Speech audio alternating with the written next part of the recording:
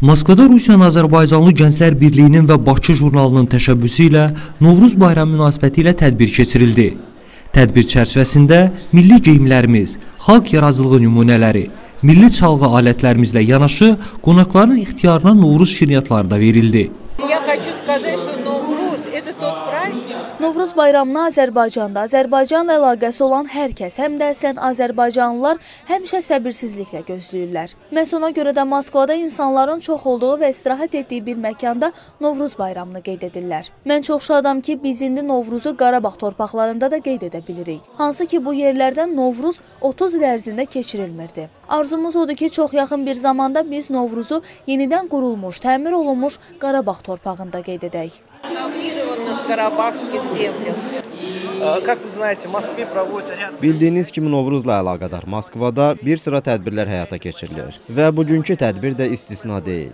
Bu gün milli musiqi alətləri, milli ornamentlər, müxtəlif mövzularda proqramlar, ustad dərsləri, bütün bunlar Moskvalılara təqdim olunur və bayramı birlikdə qeyd edirik.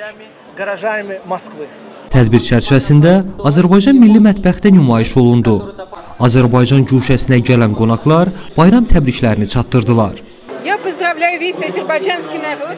Mən bütün Azərbaycan xalqını, həmçinin bütün Azərbaycan və Rusiya xalqlarını müstəqil dövlətlər birliyinin ölkələrini baharın gəlişi Novruz bayramı münasibəti ilə təbrik edirəm. Hər kəsə xalqlar dostluğu arzulayıram. İstəyirəm ki, bizim ölkələr dost sülh şəraitində yaşasınlar. Xalqlarımız bir-birinə hörmət etsinlər. Həmişə bahar olsun. Tarixi vətənimizdən uzaqda olsaq da, Rusiyada Azərbaycanın ən vacib bayramlarından olan Novruz bayramını qeyd edirik. Burada belə bir tədbirlərin, şənliklərin təşkil olunması bizim adətlərimizin yaşanması deməkdir. Mən də balaca qızımla gəlmişəm ki, bizim ənənələrimizi yaşadaq, həm də unutmasın.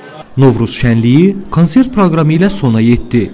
İqbal Rüstəmov, Real televiziyasının Rusiya bürosu, Moskva.